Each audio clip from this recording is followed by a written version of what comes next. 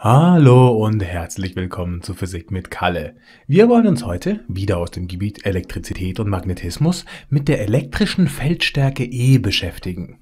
Für diesen Film solltet ihr auf jeden Fall den Film über das Coulombsche Gesetz gesehen haben, in dem die Coulombkraft ausführlich erklärt wird. Und los geht's. Wir lernen heute, was die elektrische Feldstärke eigentlich ist, wie man sie berechnen kann und zum Schluss wollen wir uns noch einen Vergleich zwischen dem elektrischen Feld und dem Gravitationsfeld ansehen, indem wir die beiden dort wirkenden Kräfte vergleichen, nämlich die Coulombkraft mit der Schwerkraft. Dann mal auf zur ersten Frage. Was ist sie denn nun, die elektrische Feldstärke?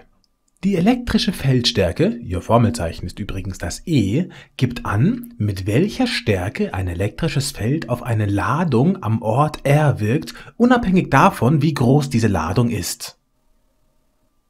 Das klingt ja halbwegs einleuchtend. Jetzt wollen wir uns mal anschauen, wie man das Ganze berechnen kann.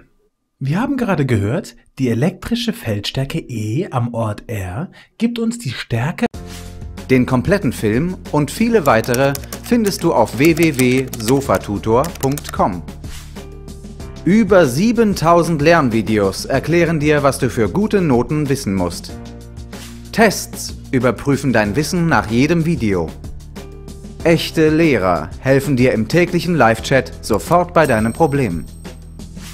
Du kannst außerdem Privatstunden bei deinem persönlichen Online-Tutor buchen, um tiefer in ein Thema einzutauchen.